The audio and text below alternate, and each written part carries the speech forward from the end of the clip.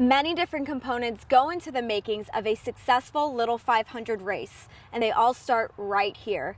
Behind me, you will see the Wilcox House, where race director Andrea Balzano spends her day to day organizing sponsors, creating events, and working with students to ensure smooth sailing on race day. Balzano got her start as a college student, riding on an all rookie team, as well as being president of Riders Council her senior year.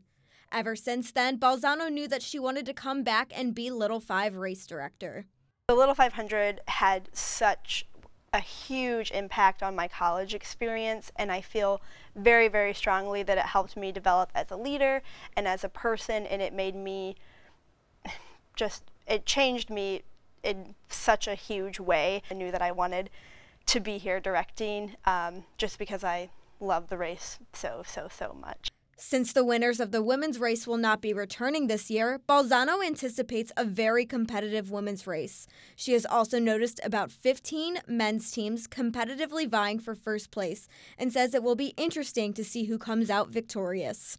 But Balzano states there's more to race day than just standings and trophies, that it's what these teams leave the race and the track with that is so much more important.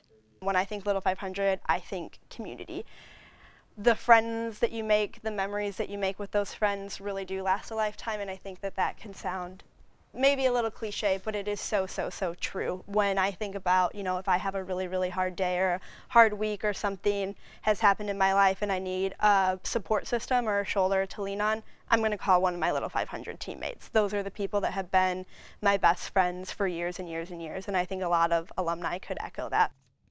For IU Sports Media, I'm Courtney Robb.